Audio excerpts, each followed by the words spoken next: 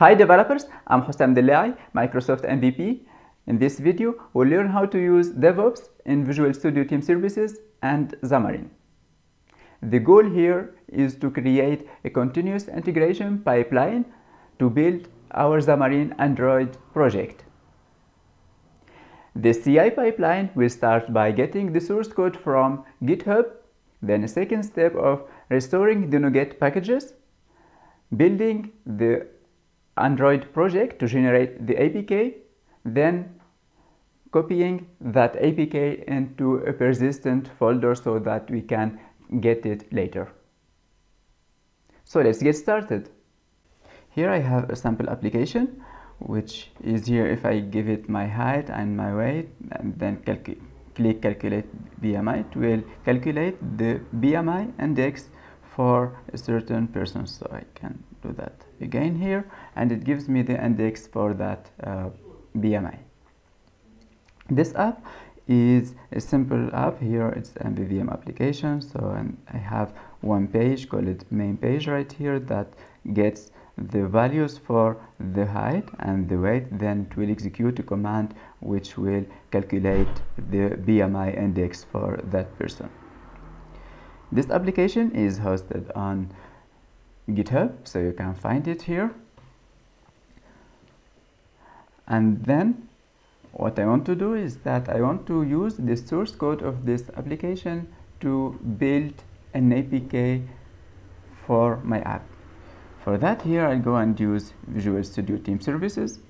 So I have already created an account and then I have created some projects to play with. And now I start from creating a new project. So I'll give it a name. So you give a name for your project and then you start again. But that process takes a little of time. So for that I have prepared a new project. So let's take a look at this one for example.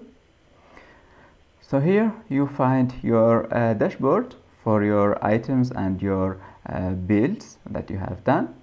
And if I go to a code right here you see that this is empty you know we can upload source code to Visual Studio Team Services as we can do that to GitHub. But here I didn't do that because my code is only on GitHub. It is not on Visual Studio Team Services.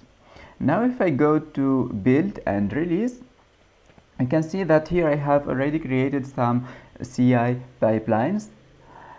And here to show you how to create a new one I'll go and create a new one by clicking the new what you can do here is that you can choose a template that might help you to, to get started so the one which we'll be using here because we are using Xamarin.Android application, we'll go and choose this template for Xamarin.Android. Click apply and here it gives us all the um, pipeline for building an APK. Here the process we have, uh, let's call it the step zero. The first thing to do is to give a name for your process. So let's call it here my demo then you choose the agent that will create the build for you.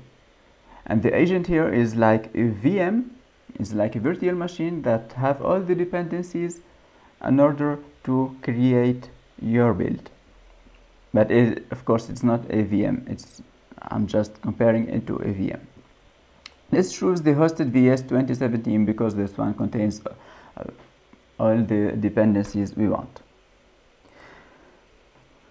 Then here we have some uh, parameters we know we need to specify here. It's asking for the team API key. We don't need those because those are related to some extra steps here. If you want to execute UI tests in Xamarin Test Cloud then you want you, you want to uh, configure this here but we won't do that right now. Maybe we'll see that in uh, later videos. And also here I'll go and remove right here the uh, Xamarin component store.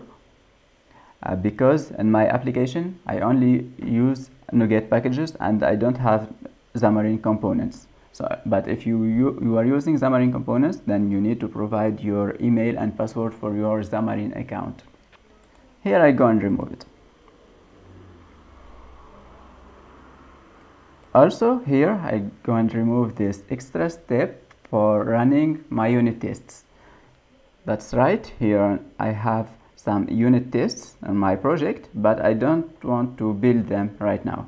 I just want to build my Xamarin Android application. We'll see in a later video how to build and execute your unit tests so let's remove it.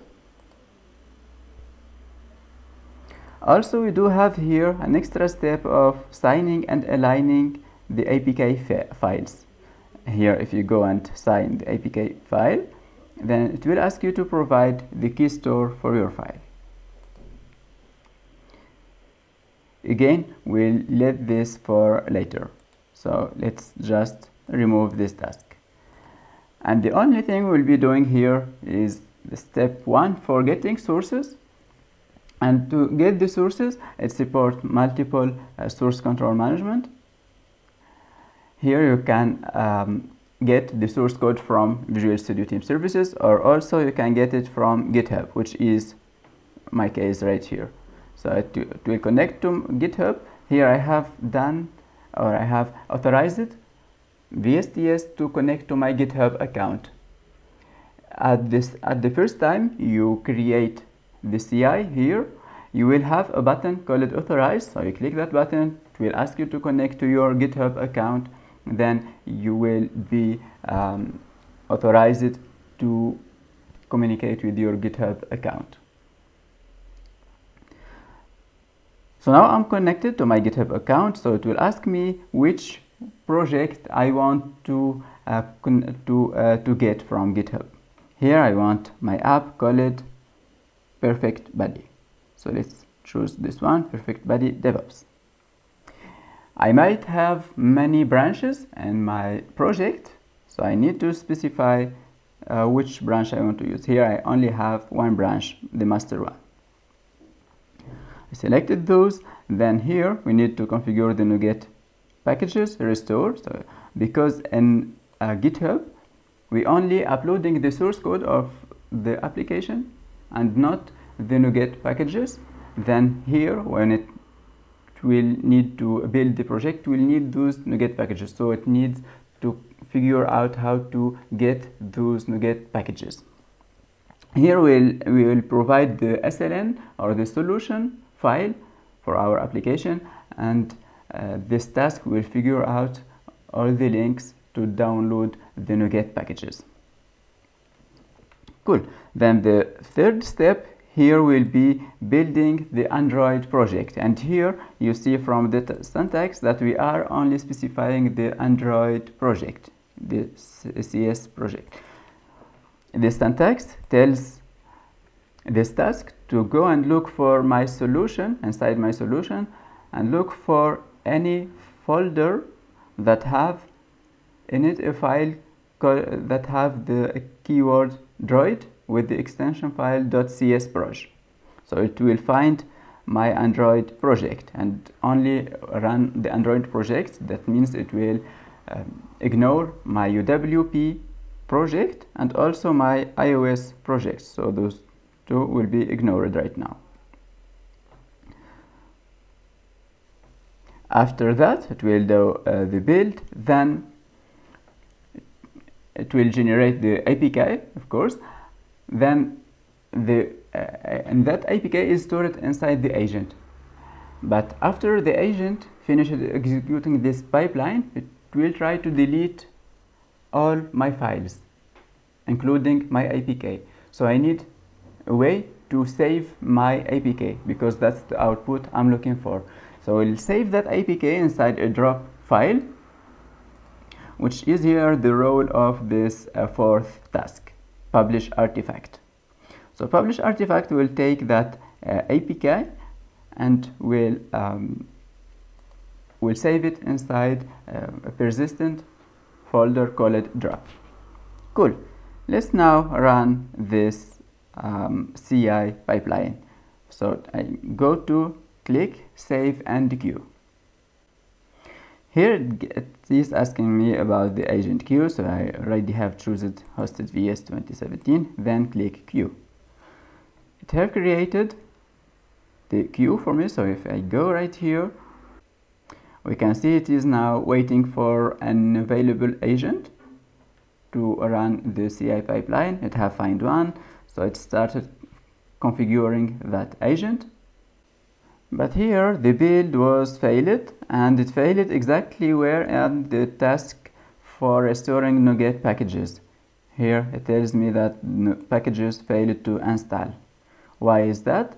Because right here if you go back to NuGet restore then here we do have a configuration that we need to make. So if we go to advanced here we should point to the latest version of NuGet which is the um, let's say the v.o.o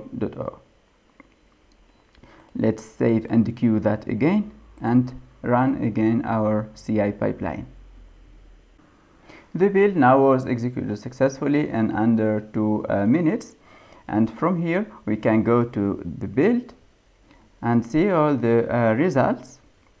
So right here we can go to uh, artifacts and here this is the drop folder that we talked about. So in here if I go to explore we'll find all the output from this build. So we can find here our APK is now in this drop folder. So we can pick it or we can also uh, download it. So this was a simple really very simple CI pipeline. And here you see that for every time I want to um, build or to uh, execute this pipeline I need to click queue or save and queue but we do have uh, another cool option which is using triggers. We can go and enable continuous integration from here by clicking this uh, switch and then click save. What this means it means that in every time a new code is pushed to my github repository the CI pipeline will be executed automatically for me. So let's try that. Here from Visual Studio, I'll go and make some change in my code in order to be able to push this uh, version. Then let's check out or let's commit this code to GitHub. Let's say commit to trigger CI commit and push. Here you can see I have a build in progress so if you take a look at that build you can see here it triggered that uh, CI pipeline automatically for us after just committing a new version of the code. So this was a very simple CI and uh, pipeline but join me for next videos where we'll take a look at some advanced uh, CI pipelines. So here, for example, we do have a CI pipeline that contains more uh, tasks here for changing the Android APK version or for executing unit tests for signing the APK and even publishing the APK automatically to Android Play Store. So I hope this video was helpful and thank you.